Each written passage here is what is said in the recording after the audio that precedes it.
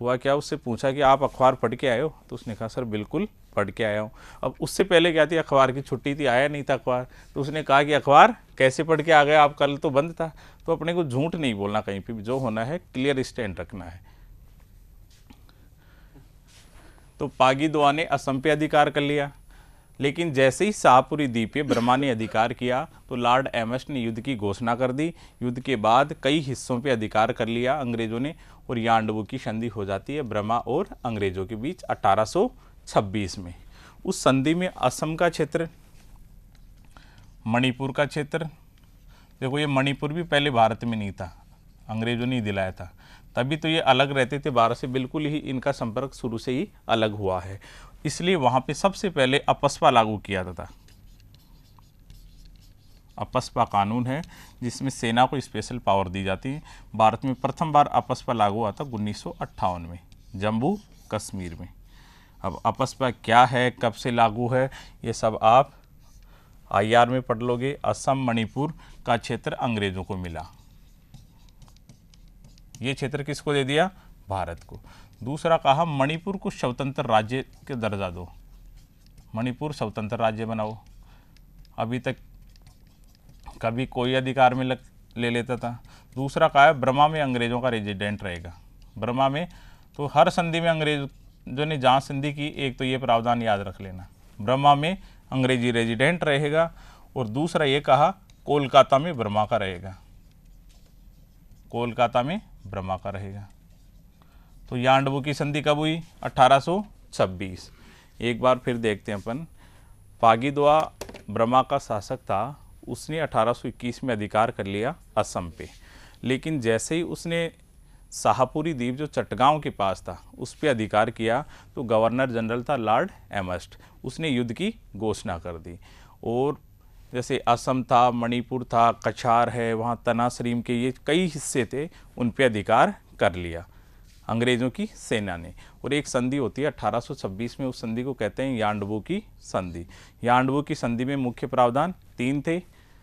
असम मणिपुर का क्षेत्र अंग्रेज़ों के अधिकार में रहेगा। स्वतंत्र मणिपुर राज्य को मान्यता दी जाएगी और ब्रह्मा में अंग्रेज़ी रेजिडेंट और कोलकाता में ब्रह्मा का रेजिडेंट रहेगा। प्रथम युद्ध यहीं समाप्त हो जाता है। तो इसमें लिखो कारण में। कारण में लिखो, ब्रह्मा के राजा पागी दोआ ने असम पे अधिकार कर लिया। ब्रह्मा के राजा पागी दोआ ने असम पे अधिकार कर लिया। लेकिन जब ब्रह्मा ने, लेकिन जब ब्रह्मा ने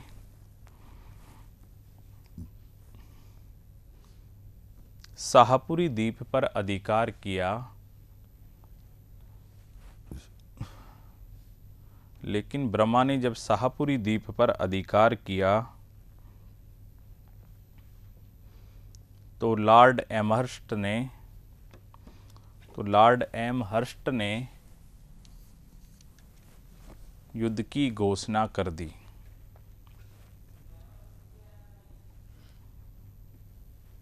युद्ध की घोषणा कर दी।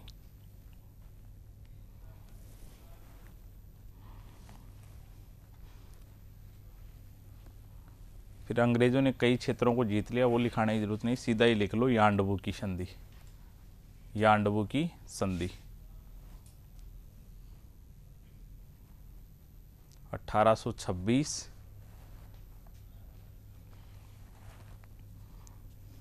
1826 इसमें फ़र्स्ट प्रावधान लिखो। असम, मणिपुर और एक क्षेत्र था अराकान। अराकान। अराकान वर्तमान में पड़ता है म्यांमार में। तो असम, मणिपुर और अराकान पर अंग्रेज़ों का अधिकार हो गया। असम, मणिपुर तथा अराकान पर अंग्रेज़ों का अधिकार हो गया।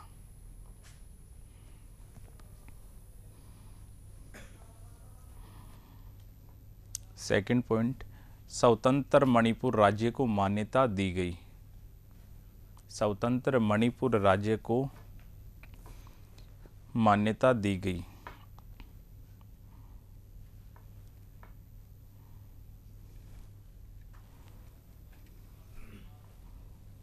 तीसरा पॉइंट, ब्रह्मा में अंग्रेज़ी रेजिडेंट। ब्रह्मा में अंग्रेज़ी रेजिडेंट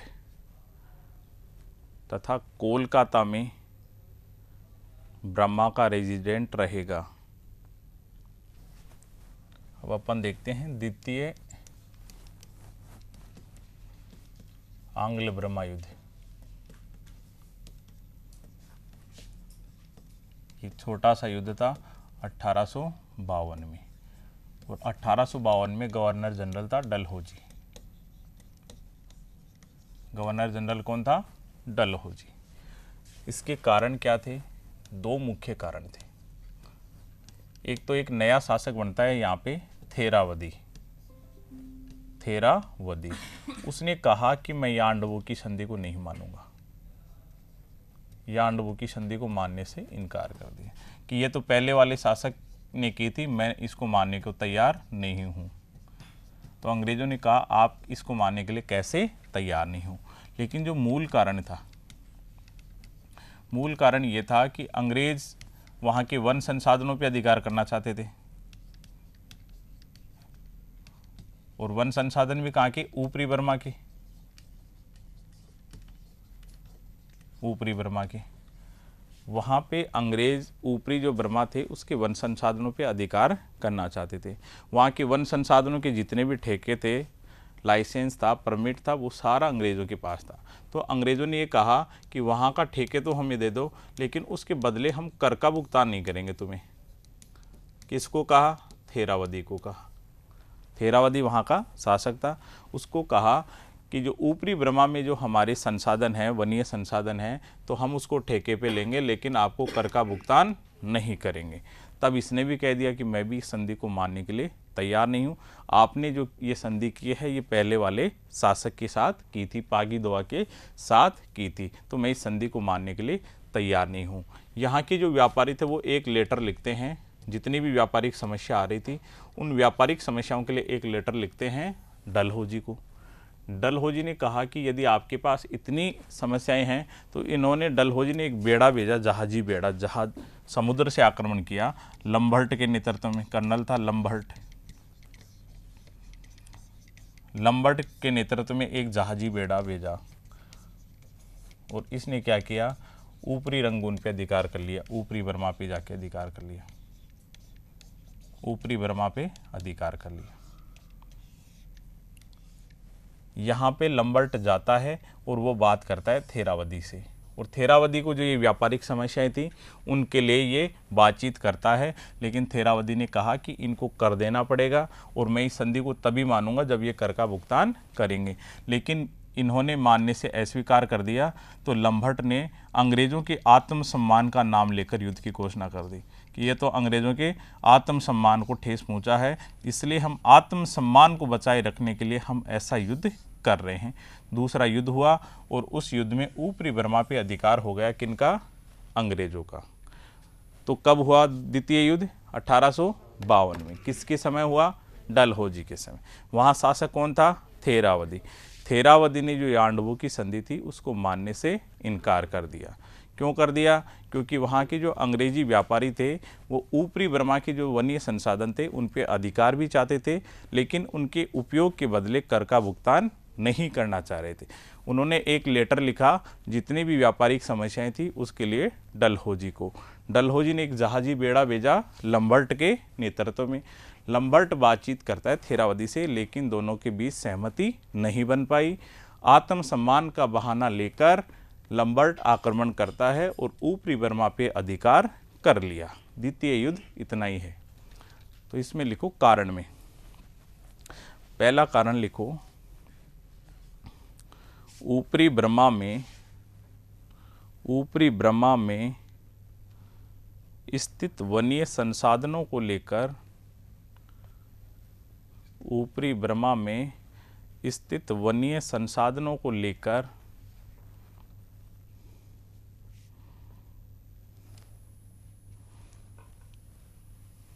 दोनों देशों के बीच दोनों देशों के बीच विवाद होना। तो जो वन्य संसाधन थे, उनको लेकर विवाद था दोनों के बीच में। दूसरा इसमें लिख लो, थेरावदी द्वारा यांडवू की संधि को न मानना।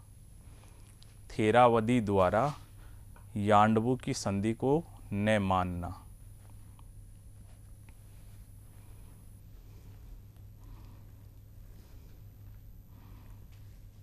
सीधा लिखो इसमें, लंभट के नेतृत्व में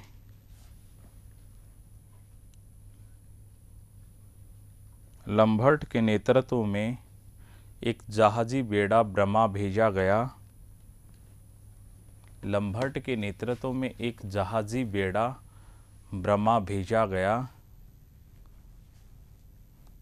लंभट ने अंग्रेज़ों की आत्मसम्मान का बहाना लेकर लंबहर्ट ने अंग्रेज़ों के आत्मसम्मान की रक्षा का बहाना लेकर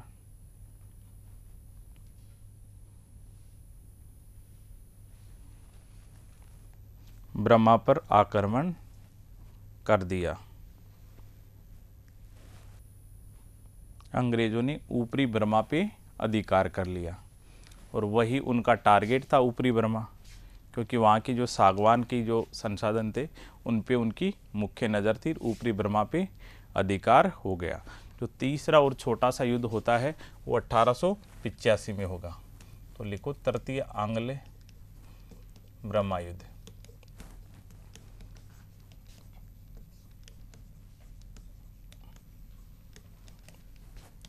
वह अट्ठारह में। उस समय था डफरीन। और भारत में एक संगठन की स्थापना हुई थी इसी समय, किसकी? कांग्रेस की। तो कांग्रेस की स्थापना के समय भी गवर्नर जनरल कौन था? डफरीन।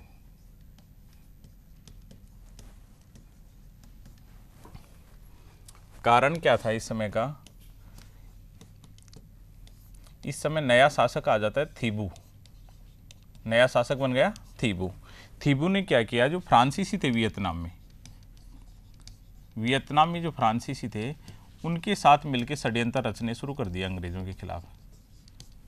थीबू ने वियतनाम में स्थित फ्रांसीसियों के साथ षड्यंत्र रचना शुरू कर दिया। तो अंग्रेज़ों ने कहा कि आप हमारे खिलाफ षड्यंत्र रच रहे हो, इसलिए ब्रह्मा का विलय भारत में करना ज़रूरी है। तो पहला तो ये हो गया, थीबू तथा फ्रांसीसियों के बीच संपर्क। थीबू और फ्रांसीसियों के बीच संपर्क थे, जिसको अंग्रेज़ क्या कहते थे? षड्यंत्र। दूसरा क्या हुआ? एक सागवान की कंपनी थी। सागवान की कंपनी थी इंडिया की। उस पर थीबू ने जुर्माना लगा दिया। वो इंडिया के नाम से रजिस्टर्ड थी, लेकिन थी वो अंग्रेज़ों की। तो उस पर इसने भारी जुर्माना लगा दिया थीबू ने। तो जैसे ही जुर्माना लगाया तो व्यापारिक हानि को तो कभी ये सहन कर ही नहीं सकते थे, नए नौसेना की हानि को सहन कर सकते थे, इसलिए इन्होंने आक्रमण कर दिया। और आक्रमण करके इस बार तो ब्रह्मा का विलय कर लिया। परिणाम क्या रहा? ब्रह्मा का भारत में विलय कर लिया। ब्रह्मा का विलय अट्ठारह में और 1935 तक अधिकार रहता है। 1935 तो 1935 का भारत शासन अधिनियम आता है, उसमें ब्रह्मा को भारत से वापस अलग कर दिया जाता है। ये अपन अलग जो पढ़ेंगे, एक्ट पढ़ेंगे, उसमें आ जाएगा। तो कारण क्या था? थीबू नया शासक बना। थीबू तथा जो वियतनाम में स्थित फ्रांसीसियों के बीच लगातार संपर्क बढ़ रहे थे, जिसको अंग्रेज़ अपने खिलाफ षड्यंत्र मानते थे। इसलिए अंग्रेज़ों ने थीबू को फ्रांसीसियों से संपर्क हटाने को कहा, लेकिन थीबू ने मना कर दिया। तो उन्होंने कहा कि ये षड्यंत्र रच रहे हैं, इनको ख़त्म करने के लिए ब्रह्मा पे अधिकार होना ज़रूरी है। दूसरा रीज़न क्या था? जो भारत की एक कंपनी थी, सागवान की, अंग्रेज़ी कंपनी थी, उस पर थीबू ने भारी जुर्माना लगा दिया था। तो अंग्रेज़ इस जुर्माने के खिलाफ भी थे, इसलिए युद्ध की घोषणा कर दी, आक्रमण किया और अठारह में विलय कर लिया और 1935 में वापस भारत से बर्मा को हटा दिया जाता है। इसी एक्ट के तहत फिर कई स्थापना होती है, जैसे आरबीआई की स्थापना भी इसी एक्ट के तहत होती है 1935 के अधिनियम के तहत। तो इसमें लिखो कारण। पहला लिखो, ब्रह्मा के राजा थीबू तथा, ब्रह्मा के राजा थीबू तथा, फ्रांसीसियों के बीच बढ़ती निकटता को, ब्रह्मा के राजा थीबू तथा फ्रांसीसियों के बीच बढ़ते संपर्क को अंग्रेज़ अपने खिलाफ षड्यंत्र मानते थे। अंग्रेज़ अपने खिलाफ षड्यंत्र मानते थे।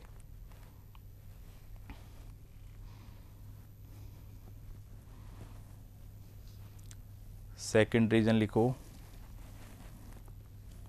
अंग्रेज़ी कंपनी पर अंग्रेज़ी कंपनी पर थीबू द्वारा भारी जुर्माना लगाना। तो किसकी कंपनी थी ये? सागवान की कंपनी थी। अंग्रेज़ी कंपनी पर थीबू द्वारा भारी जुर्माना लगाना। तो तीसरा लिखो, डफरीन ने युद्ध की घोषणा कर दी। गवर्नर जनरल कौन था? Lord Dufferin. डफरीन ने आक्रमण की घोषणा कर दी। तथा अठारह में डफरीन ने आक्रमण की घोषणा कर दी तथा अठारह में तथा अठारह में ब्रह्मा का भारत में विलय कर लिया गया। नेक्स्ट पॉइंट लिखो। 1935 के भारत शासन अधिनियम के तहत 1935 के भारत शासन अधिनियम के तहत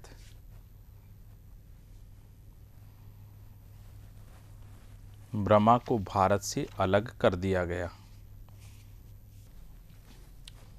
अब अपन जो पड़ोसी राज्यों के साथ जो युद्ध हुए हैं, उनको भी एक जगह देख लेते हैं। तो अपन सबसे पहले देखते हैं अफगानों के साथ। अफगानों के साथ कितने युद्ध हुए? तीन। पहला देखते हैं अपन। प्रथम कब हुआ था? उनचालीस से बयालीस। परिणाम देखते हैं अंग्रेज़ों की हार। अंग्रेज़ों की हार। गवर्नर कौन था उस समय? ओकलैंड। Very good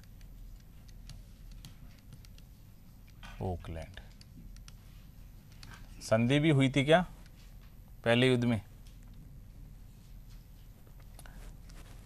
द्वितीय देखते हैं अपन। द्वितीय कब हुआ? अठहत्तर से अस्सी। इसका कोई रिज़ल्ट नहीं है। इसमें संधि हुई थी कौन सी संधि?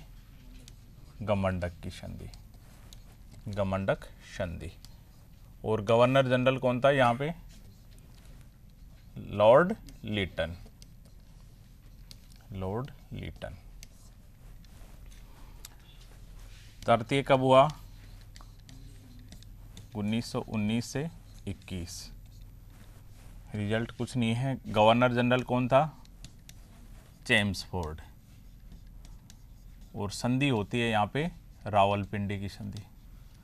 रावलपिंडी वर्तमान में कहाँ है? पाकिस्तान। और यहीं पे पाकिस्तानी आर्मी का हेड ऑफ़िस है। जैसे अमेरिकी सेना का हेड ऑफ़िस कहाँ है?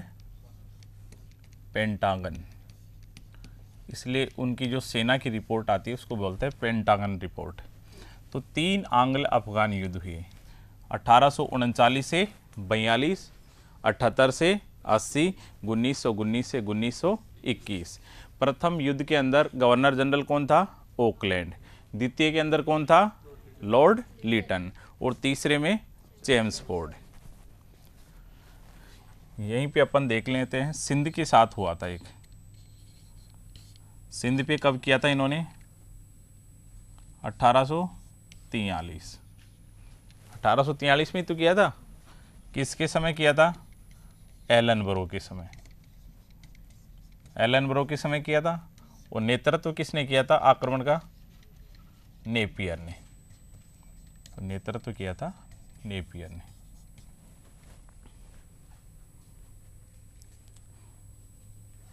लिख लिया क्या इनको?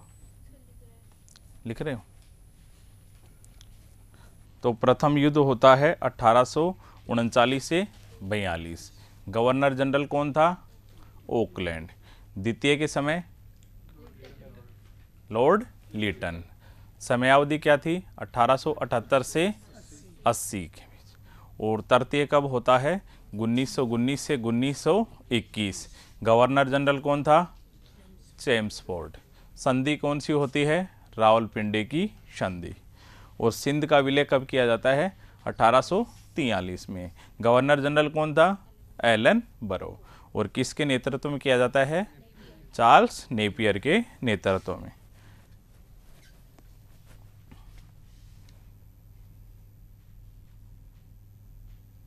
चलें। उसके बाद अपन ने देखे हैं आंग्ल ब्रह्मा। इनके बीच में भी तीन हुए हैं। प्रथम हुआ था 1824 से 26 गवर्नर कौन था? पहले में Lord Amherst Lord Amherst संधि हुई कुछ? यांडवू की? यांडवू की? 1826 द्वितीय में अपन देखते हैं। अठारह गवर्नर जनरल था। डलहौजी डलहौजी और तृतीय के समय अपन देखते हैं, अठारह इस समय था डफरीन। डफरीन के समय। तो तीन युद्ध होते हैं, आंग्ल और ब्रह्मा। पहला युद्ध कब होता है? 1824 से 1826 द्वितीय कब हुआ? अठारह गवर्नर जनरल कौन था? डलहोजी। और तीसरा कब हुआ? अठारह गवर्नर जनरल? डफरीन। अब एक नेपाल के साथ भी अपन ने किया था विलय। नेपाल पे भी तो किया था इन्होंने। वो था 1815-16 और 1815-16 में गवर्नर जनरल आएगा। लॉर्ड हेस्टिंग्स लॉर्ड हेस्टिंग्स ने सेना भेजी थी किसके नेतृत्व में ओक्टरलोनी के नेतृत्व में और कुछ संधि भी होती है क्या संगोला या संगोली की संधि तो संगोली की संधि संगोली की संधि तो इनको वापस देखो अफ़गानिस्तान के साथ कितने युद्ध हुए तीन।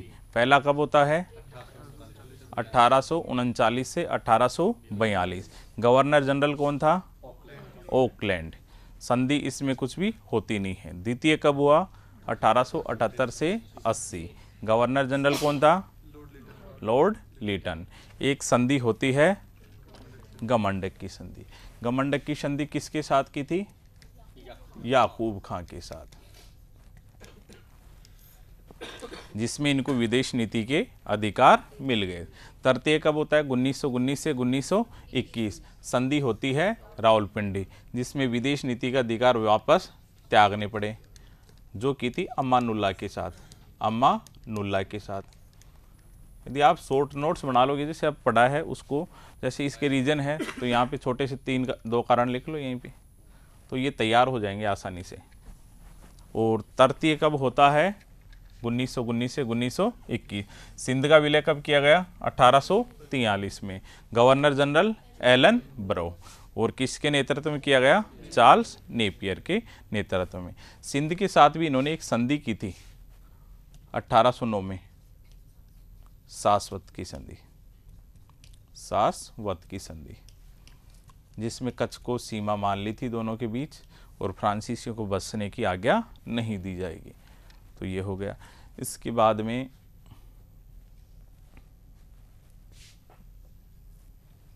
आंग्ल ब्रह्मा, तीन युद्ध हुए। पहला हुआ 1824 से 1826 इसमें कौन विजय होते हैं? अंग्रेज़ हो जाते हैं। गवर्नर जनरल कौन था? Lord Amherst. द्वितीय कब होता है? अठारह सौ बावन। और तृतीय अठारह द्वितीय के समय गवर्नर जनरल डलोजी और तीसरे के समय डफरीन। और नेपाल का कब हुआ? 1815 से 16 के बीच संगोली की संधि होती है। अब आगे अपन चैप्टर देखेंगे, जो गवर्नर जनरल आए थे विभिन्न उनके सभी के क्या क्या काम थे, क्या टाइम पीरियड था? Governor general. तो एक बार समझो, अपने देखा था सत्रह सौ सत्तावन में अंग्रेज़ों ने जो सबसे बड़ी विजय प्राप्त की थी, जिसके कारण भारत में इनका साम्राज्य स्थापित हुआ था, वो वो विजय कौन सी थी? प्लासी। और प्लासी के विजय के तहत इनको कहाँ का राज्य मिला था? बंगाल का। बंगाल का राज्य। तो सबसे पहले अंग्रेज़ों ने पद सर्जित किया था गवर्नर का। कौन सा पद सर्जित किया था? गवर्नर। तो पहला जो शब्द है, बंगाल का गवर्नर शब्द था। बंगाल का गवर्नर। पहला पद ये बनाएँगे, बंगाल का गवर्नर।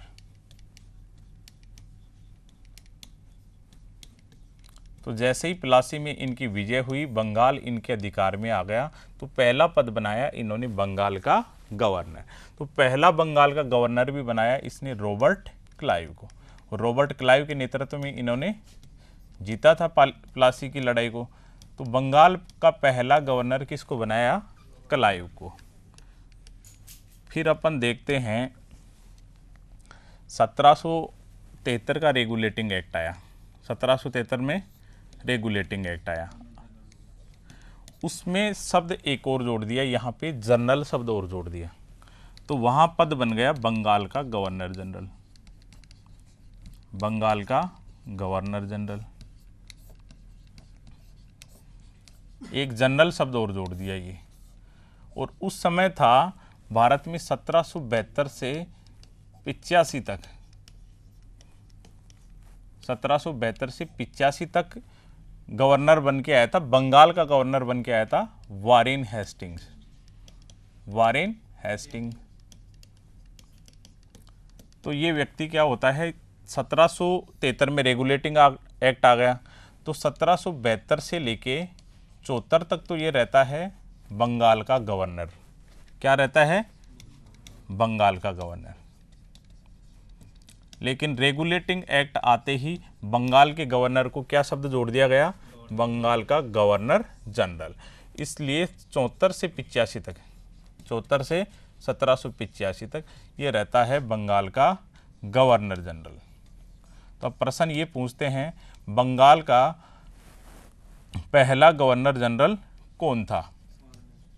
Warren Hastings. प्रश्न दूसरा भी यहाँ बनता है, बंगाल का अंतिम गवर्नर कौन था? अंतिम गवर्नर कौन था? तो यही था, क्योंकि यहीं से पद समाप्त हुआ था, उस समय यही था। तो बंगाल का अंतिम गवर्नर कौन था? हेस्टिंग्स बंगाल का प्रथम गवर्नर जनरल कौन था? Warren Hastings. लेकिन बंगाल का प्रथम गवर्नर कौन था? Robert Clive. उसके बाद फिर चेंज होता है। 1833 में एक एक्ट आता है। 1833 का एक्ट आएगा। ये सारे एक्ट अपन बाद में देखेंगे। इस, उसमें क्या करते हैं? गवर्नर जनरल तो रखते हैं। गवर्नर जनरल तो यूँ रखा, लेकिन चूँकि उस समय तक भारत के एक बड़े क्षेत्र पे अंग्रेज़ों का अधिकार हो गया था, इसलिए वहाँ पे रख दिया भारत।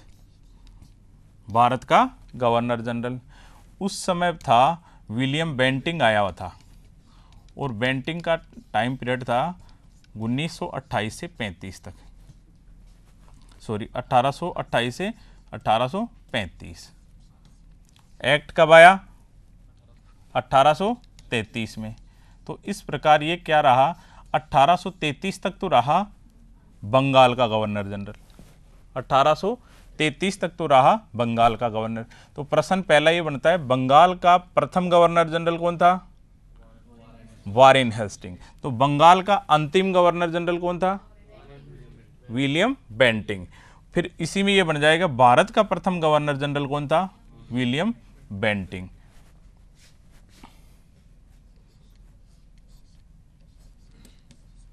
तो यहाँ था वारेन हेस्टिंग। और यहाँ पे बन जाएगा बेंटिंग। अब इसी में अपन एक बार वापस देखो, पहले पद क्या था? बंगाल का गवर्नर। कब था ये? कब बना? प्लासी के विजय के बाद। प्लासी की विजय किसके नेतृत्व में हुई थी? Robert Clive. तो रॉबर्ट क्लाइव को बंगाल का प्रथम गवर्नर कहा गया। सत्रह का रेगुलेटिंग एक्ट आया। रेगुलेटिंग एक्ट के तहत क्या किया? पद नाम बदला गया। और पद नाम क्या हुआ? बंगाल के गवर्नर की जगह गवर्नर जनरल शब्द आया। उस समय बंगाल का गवर्नर था वारेन हेस्टिंग। लेकिन जैसे ही ये एक्ट आया तो उसने अपनी जो शेष समयावधि थी, वो किस किस नाम से बिताई? बंगाल के गवर्नर जन। इस प्रकार अपन कह सकते हैं, बंगाल का अंतिम गवर्नर कौन था? Warren Hasting. बंगाल का प्रथम गवर्नर जनरल कौन था? Warren Hastings. ऐसे ही 1833 का एक्ट आता है, उसमें भी पदनाम बदल जाता है। बंगाल का गवर्नर जनरल की जगह क्या हो जाता है? भारत का गवर्नर जनरल। तो प्रश्न ये बनता है, बंगाल का अंतिम गवर्नर जनरल कौन हुआ? बेंटिंग। और भारत का प्रथम गवर्नर जनरल कौन हुआ? बेंटिंग। एक और शब्द आएगा फिर। भारत का गवर्नर जनरल एवं वाइस राय भारत का गवर्नर जनरल एवं वाइस राय। यह अठारह की क्रांति के बाद वोयस राय। ये होता है जब अठारह की क्रांति हो गई। उस क्रांति के बाद महारानी विक्टोरिया घोषणा करती है। उस घोषणा के बाद ये शब्द और जोड़ दिया गया वो राय। ये तो वैसे कि बस रखा गया भारत का गवर्नर जनरल। एक शब्द और जोड़ दिया गया, वो इस राय। ये इसलिए जोड़ा गया, उस समय यदि अपन भारत को देखें तो भारत में दो तरह के क्षेत्र थे।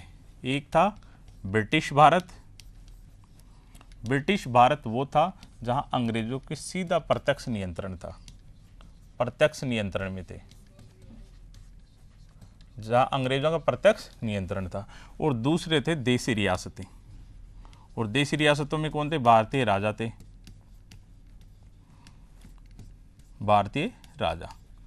तो अभी तक जो गवर्नर जनरल था, वो शासन करता था एक तरीके से। उसके आदेश जो लागू होते थे, वो ब्रिटिश भारत पे ही लागू होते थे। लेकिन जैसे अपन देखते स्वतंत्रता के समय कितनी रियासतें थी भारत में? पाँच तो भारत के अंदर कहीं अंग्रेज़ शासन कर रहे थे, कहीं पे भारतीय जो देसी राजा थे वो शासन कर रहे थे। तो अभी तक क्या देखा गया अट्ठारह जब 1848 में गवर्नर जनरल बन के आया था डलहोजी। तो डलहोजी ने गोद निषेध की नीति अपनाई और दे, गोद निषेध नीति के तहत इसने रियासतों को तीन भागों में बांट दिया था। और तीन भागों में बांट के तीसरी प्रकार की उन रियासतों को रखा जिनके निर्माण अंग्रेज़ों ने करवाया था। उनके लिए कहा कि आप दत्तक पुत्र नहीं ले सकते। तो दत्तक पुत्र जो नहीं ले सकते, उनका उन्होंने कहा कि सीधा भारत में विलय कर लिया जाएगा। तो ये माना गया कि देसी रियासतों ने भाग इसलिए लिया था अठारह सौ सत्तावन की क्रांति में क्योंकि जो इनके हित थे, उनको अंग्रेज़ों ने हस्तक्षेप किया और इनको विलय करने की कोशिश की। इसलिए इन राजाओं ने अपनी अठारह सौ सत्तावन की क्रांति में भाग लिया, जैसे झांसी की रानी। झांसी की रानी थी, इसको भी दत्तक पुत्र की आज्ञा नहीं दी, इन्होंने अनुमति नहीं दी तो ये शामिल हुई थी। ऐसे ही सतारा था, अवध था, संबलपुर थे, ये कई हिस्से थे, वो इसलिए शामिल हुए थे क्योंकि इनके आंतरिक मामलों में अंग्रेज़ों ने हस्तक्षेप किया। तो महारानी की घोषणा पत्र में यह कहा गया कि देसी रियासतों के आंतरिक मामलों में हम कभी भी हस्तक्षेप नहीं करेंगे।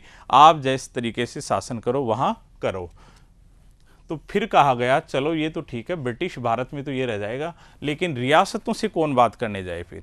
कभी भी ब्रिटिश सरकार, हो सकता है भविष्य में रियासतें आपस में मिल जाएँ सारी, और अंग्रेज़ों के खिलाफ आक्रमण कर दे। तो उन्होंने सोचा, रियासतों से बातचीत करने वाला एक व्यक्ति होना चाहिए, और वो व्यक्ति जो, वो इसको आवाज़ को पहुँचा दे उन तक, उन, उनकी आवाज़ को यहाँ तक पहुँचा दे। इसलिए ये शब्द और जोड़ दिया गया इसमें वायस राय। तो इस समय, उस समय था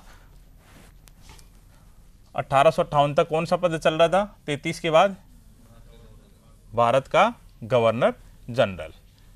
तो उस समय व्यक्ति आ गया था अठारह में। अठारह से लगभग अठारह या बासठ ऐसे है, वहाँ तक रहता है Lord Canning. Lord Canning. Lord Canning. जब अठारह में ये घोषणा आई कि अब कौन होगा? पदनाम क्या बदल दिया? गवर्नर जनरल के साथ साथ वायसराय और जोड़ दिया। तो अपन ये कह सकते हैं, भारत का अंतिम गवर्नर जनरल कौन हुआ? कैनिंग। और भारत का प्रथम गवर्नर जनरल एम वायसराय कौन हुआ? कैनिंग। फिर अंतिम देखते हैं अपन कौन हुआ गवर्नर जनरल एवं वायसराय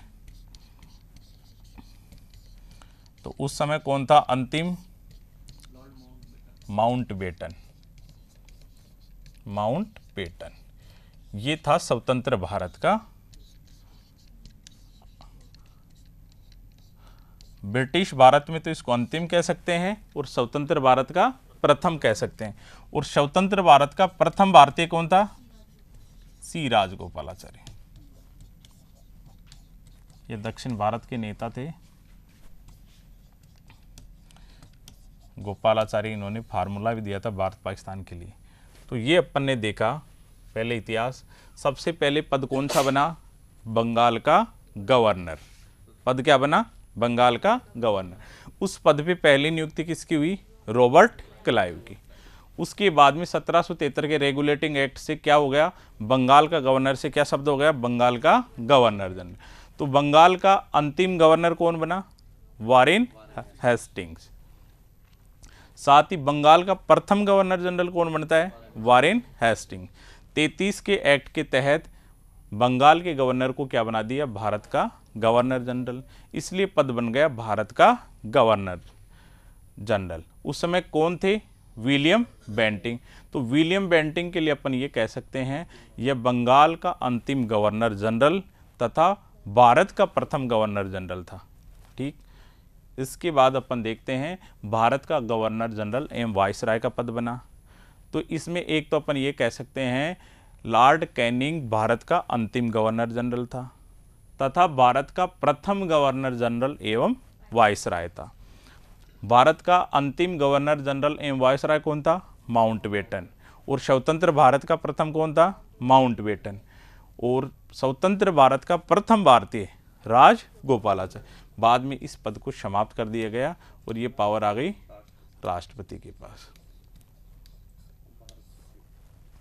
भारत में प्रथम बार चुनाव कब हुए थे? और आज़ाद कब हो गया था भारत? तो ये पाँच साल देश कैसे चला? पाँच साल देश किसने चलाया? संविधान सभा ने।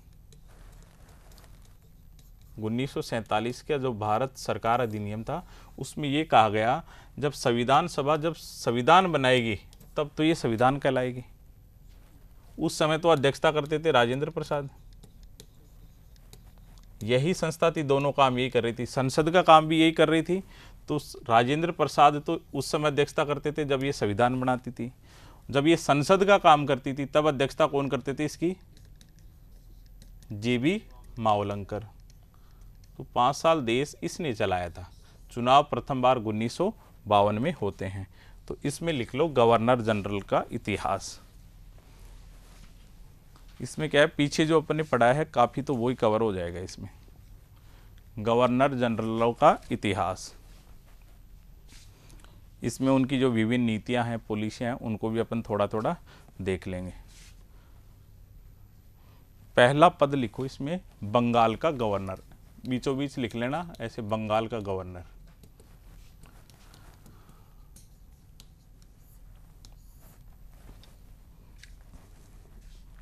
इसमें लिखो, यह पद प्लासी की विजय के बाद बनाया गया था।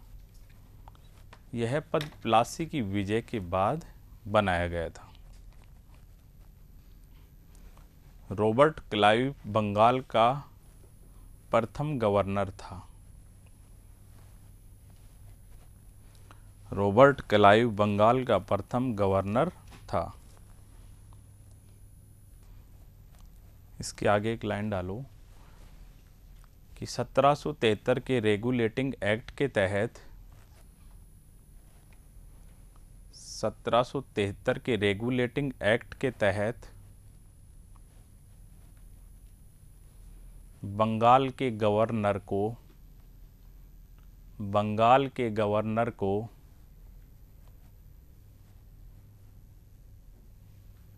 गवर्नर जनरल बना दिया। गवर्नर जनरल बना दिया।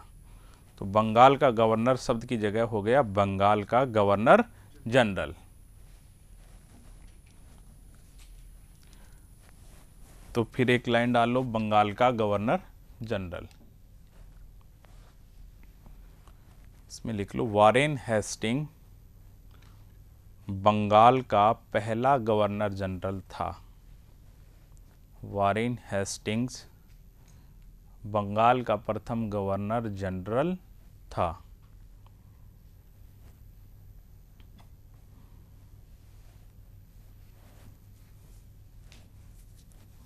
इसी में लिख लो, बंगाल का अंतिम गवर्नर भी यही था। बंगाल का अंतिम गवर्नर भी यही था। यहाँ ओनली शब्द लिखना है गवर्नर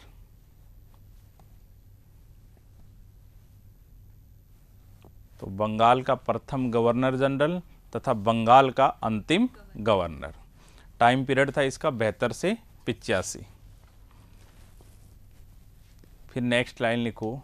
1833 के एक्ट द्वारा 1833 के एक्ट द्वारा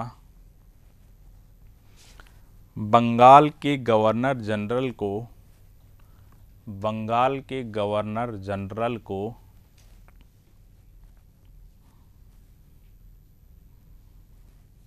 भारत का गवर्नर जनरल बना दिया गया। बंगाल के गवर्नर को भारत का गवर्नर जनरल बना दिया गया।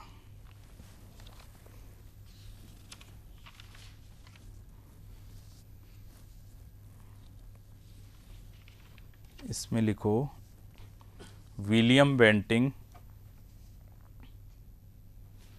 William Bentinck, Bharat का प्रथम गवर्नर जनरल था।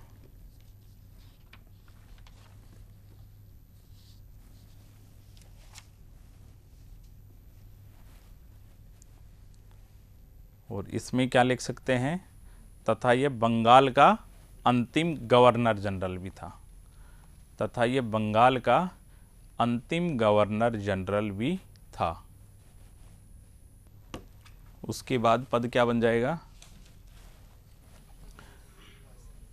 तो इसमें नेक्स्ट लिखो। अट्ठारह की अट्ठारह की महारानी की घोषणा द्वारा अट्ठारह की महारानी की घोषणा द्वारा भारत के गवर्नर जनरल को, भारत के गवर्नर जनरल को, गवर्नर जनरल एवं वॉइस राय बना दिया गया। भारत के गवर्नर जनरल को, गवर्नर भारत का गवर्नर जनरल एवं वॉइसराय बना दिया गया।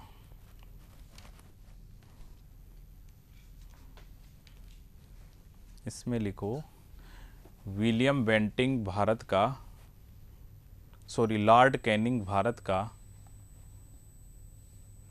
लॉर्ड कैनिंग भारत का प्रथम गवर्नर जनरल भारत का प्रथम गवर्नर जनरल एवं वायसराय था। और इसी में क्या लिख देंगे? तथा भारत का अंतिम गवर्नर जनरल भी यही था। तथा भारत का अंतिम गवर्नर जनरल भी लॉर्ड कैनिंग ही था। तथा अंतिम गवर्नर जनरल भी भारत का यही था। अठारह की क्रांति इन्हीं के समय होती है लॉर्ड कैनिंग के समय। इसकी इस, अब लास्ट में क्या लिखेंगे? भारत का अंतिम गवर्नर जनरल एम वायसराय लॉर्ड माउंट बेटन था। तो लिखो लॉर्ड माउंट बेटन अंतिम भारतीय गवर्नर जनरल एम वायसराय था। लॉर्ड माउंट बेटन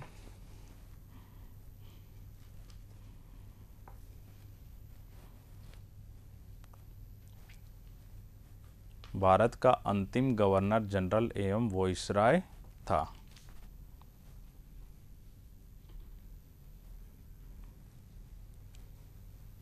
इसी में अपन लिख सकते हैं कि यह स्वतंत्र भारत का प्रथम वायसराय एवं गवर्नर जनरल था। यह भारत का, स्वतंत्र भारत का प्रथम गवर्नर जनरल एवं वायसराय था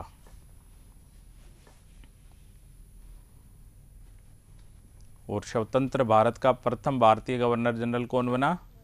राज गोपालाचारी तो लास्ट इसमें लिख लो। राज गोपालाचारी स्वतंत्र भारत के प्रथम भारतीय गवर्नर जनरल थे। अब सबसे पहले अपन ने क्या लिया था? बंगाल का गवर्नर। अब देखते हैं अपन बंगाल के गवर्नर जनरल कौन कौन बने। तो बंगाल के गवर्नर। बंगाल का पहला गवर्नर कब बनता है? सत्रह सौ सत्तावन और पद का ख़त्म कब हो जाता है? सत्रह सौ चौहत्तर में। तो सत्रह सौ सत्तावन में कौन बना? कलाइव। ये सत्रह सौ साठ तक रहता है। तो पहला था रॉबर्ट कलाइव।